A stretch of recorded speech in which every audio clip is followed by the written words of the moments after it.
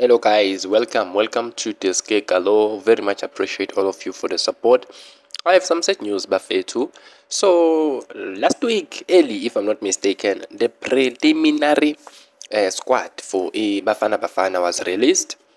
However i did tell you that the squad was subject to you know to be to be cut off. The list was supposed to be made even shorter than it was. So Unfortunately, uh, Umiguel Timm did not make it, you know, to the last uh, 23 players that have been selected by Hugo Broos. So, yeah, man, Maela, Sibisi, and um, Saleng are still in the lineup. Even Dipasa is still there. Uh, Timm is on standby, though. This is because Unjabulo Blom, uh, he missed yesterday's uh, St. Louis City training session.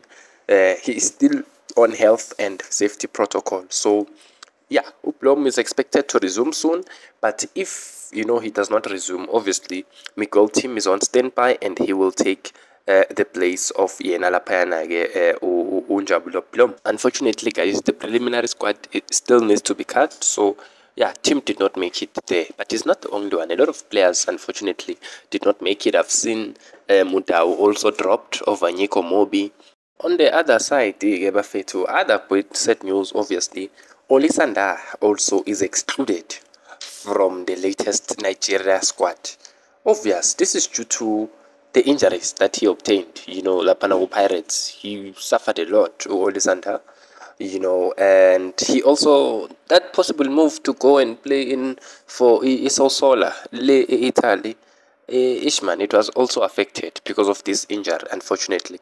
So yeah, man, uh, the Super Eagles in Nigeria will take on uh, Guinea-Bissau in the 2023 AFCON qualifiers later this month. And unfortunately, Olisa Ndah, uh, he's still, uh, he's not there.